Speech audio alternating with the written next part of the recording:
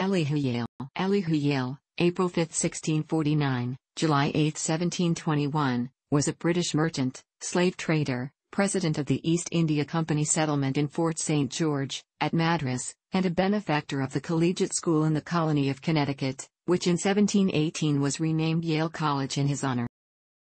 Born in Boston, Massachusetts, to David Yale, 1613 to 1690, and Ursula, he was the grandson of Ann Lloyd, 1591 to 1659, who after the death of her first husband, Thomas Yale, 1587 to 1619, in Chester, Cheshire, England, married Governor Theophilus Eaton, 1590 to 1658, of New Haven Colony.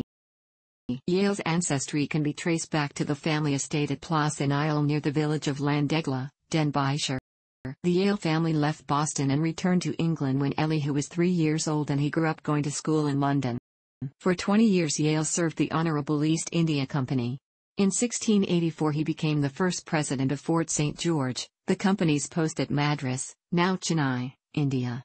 He succeeded a number of agents from Andrew Cogan to William Gyfford. Yale was instrumental in the development of the Government General Hospital, housed at Fort St. George.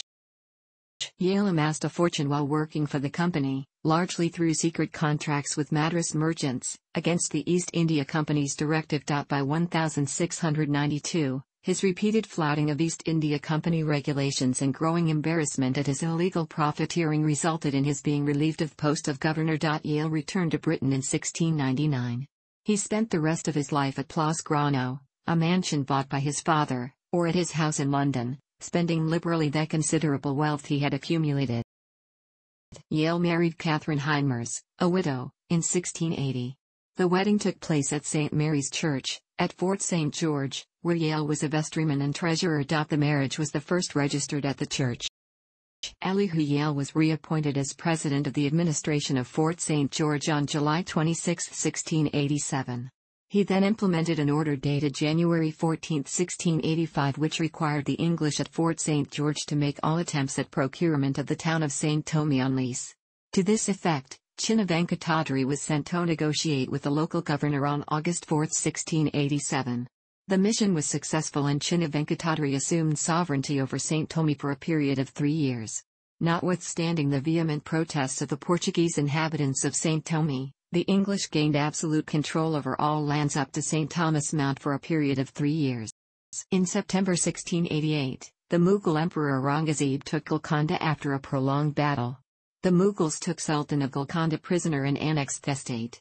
The newly designated Mughal Subedar of the province immediately sent a letter to the British authorities at Fort St. George demanding that the English at Madras acknowledge the overlordship of the Mughal emperor. The English complied willingly. Aurangzeb guaranteed the independence of Madras, but in return demanded that the English supply troops in the event of a war against the Marathas. It was around this time that Yale's three-year-old son David Yale died and was interred in the Madras cemetery. The records of this period mention a flourishing slave trade in Madras, a trade in which Yale participated and from which he profited. He enforced a law that at least 10 slaves should be carried on every ship bound for Europe. In his capacity as judge, he also on several occasions sentenced so called black criminals to whipping and enslavement. When the demand began to increase rapidly, the English merchants even began to kidnap young children and deport them to distant parts of the world, very much against their will.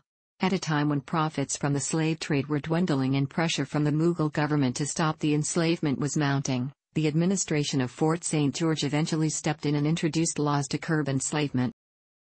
During Yale's presidency, a plan for setting up a corporation in Madras was conceived by Josiah Child, the president of the board of directors of the East India Company, in a letter addressed to the factors at Madras on September 28, 1687.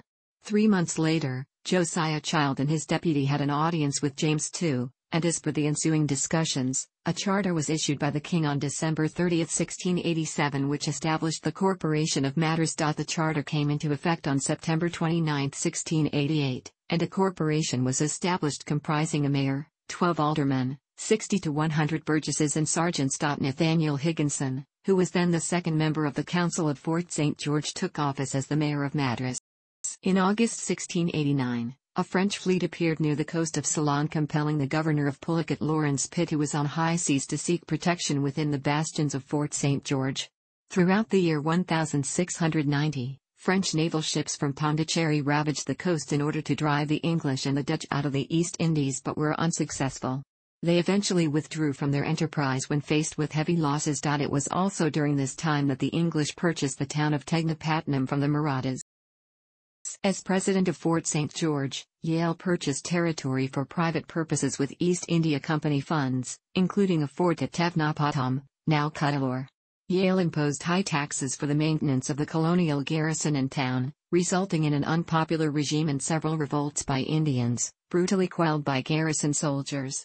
Yale was also notorious for arresting and trying Indians on his own private authority, including the hanging of a stable boy who had absconded with a company horse. Charges of corruption were brought against Elihu Yale in the last years of his presidency. He was eventually removed in 1692 and replaced with Nathaniel Higginson as the president of Madras. Yale died on July 8, 1721 in London, but was buried in the churchyard of the parish church of St. Giles in Wrexham. His tomb is inscribed with these lines. In Boston, Massachusetts, a tablet to Yale was erected in 1927 at Scollay Square, near the site of Yale's birth. Yale President Arthur Twining Hadley penned inscription, which reads, On Pemberton Hill, 255 feet north of this spot, was born on April 5, 1649 Elihu Yale, governor of Madras, whose permanent memorial in his native land is the college that bears his name. In 1718, Cotton Mather contacted Yale and asked for his help. Mather represented a small institution of learning that had been founded in 1701 in New Haven, Connecticut, as the Collegiate School of Connecticut, which needed money for a new building. Yale sent Mather 417 books, a portrait of King George I, and nine bales of goods. These last were sold by the school for 800 pounds pounds sterling.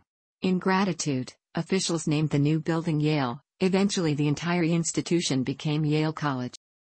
Yale was also a vestryman and treasurer of St. Mary's Church at Fort St. George. On October 6, 1968, the 250th anniversary of the naming of Yale College for Elihu Yale, the classmates of Chester Bowles, then the American ambassador to India and a graduate of Yale, 1924, donated money for lasting improvements to the church and erected a plaque to commemorate the occasion. On April 5, 1999, Yale University recognized the 350th anniversary of Yale's birthday.